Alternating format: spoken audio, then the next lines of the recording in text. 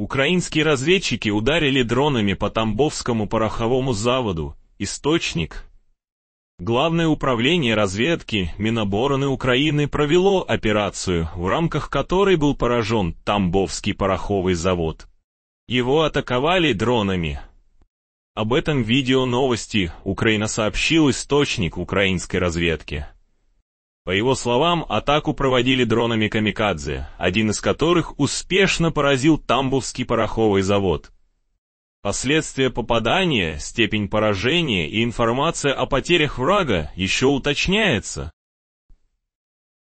В то же время российские власти отказываются признавать факт удара по заводу.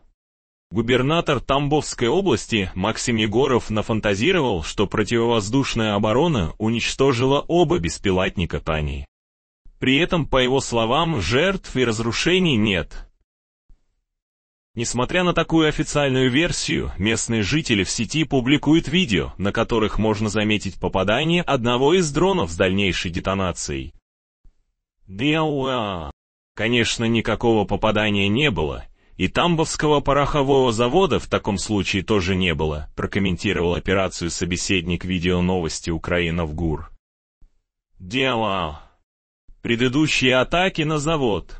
Стоит заметить, что украинские дроны не впервые бьют по Тамбовскому пороховому заводу.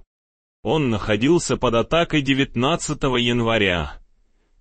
Тогда один из беспилотников взорвался на площадке возле цеха смешивания порохов. Еще одна атака на завод состоялась в ноябре прошлого года. Тамбовский пороховый завод – одно из крупнейших предприятий России, где производятся боеприпасы и порохи для стрелкового оружия. С начала полномасштабного вторжения России в Украину завод увеличил производство на треть. Предприятие находится под санкциями с марта 2023 года.